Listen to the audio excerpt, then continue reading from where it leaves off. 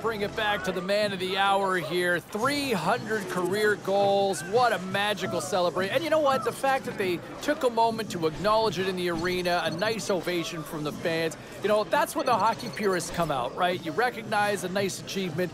You know, whether you love him or hate him, you recognize and a nice ovation in the arena for that particular moment. 300, congratulations. Stick taps all around. All right, still to come here on the show. Colorado pile drove their competition with a big-time win. No shortage of action in the National Hockey League. Let's take a look at elsewhere what went down.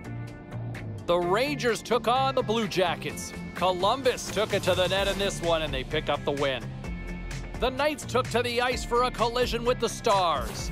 Vegas puts on a clinical offensive display in the win. Lots more still to come, including the story in MMA, the hardwood, and more. Stay with us.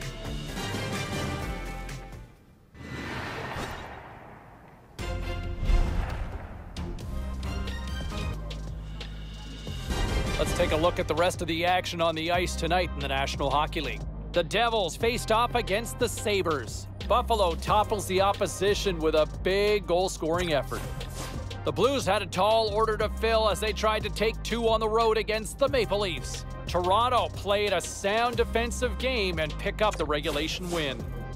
The Kings faced off with the Penguins. Los Angeles turned it up a notch in their own end, putting on a defensive clinic in the shutout win.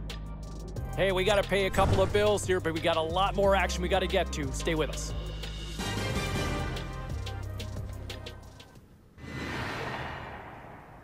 I'll tell you what, another storyline to watch, and I, uh, for somebody who loves offense, I love this as he could hit 100.